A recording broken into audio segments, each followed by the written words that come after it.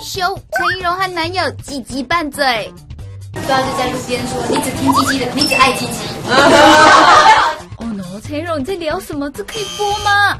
陈怡蓉日前被拍到以准医师娘之姿，在整形名医男友薛伯仁诊所帮忙，并同住一晚爱巢。一周刊爆料，她密谋六月登记，婚事一切从简，打算青菜把自己嫁啦。陈怡蓉昨天宣传自己的摄影书，你好我就好，不用等拷问。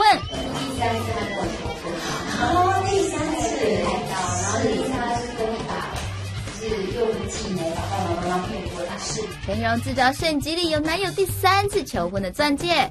当场热吻，呃，有象征性的，象征性的就是来一下，一下一下，因为现场还蛮多人的，我猜一下。结果大姐都问到婚事就不停的鬼打墙。不容易想听吧？其实我很怕麻烦，繁琐过程的，不要学话太多，然后越简单越好。不想像主持人就是希望有点累。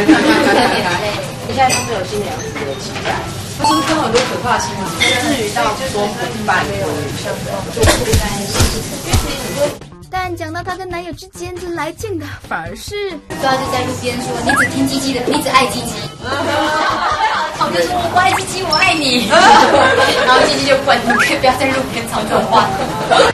啊，慢给我回啦！鸡鸡是陈怡蓉的助理啦，男友在吃鸡鸡的醋啦。就是用吵架来当沟通，不要吵有用的架。娱乐动新闻，炒有用的饭比较 OK 啦，报道。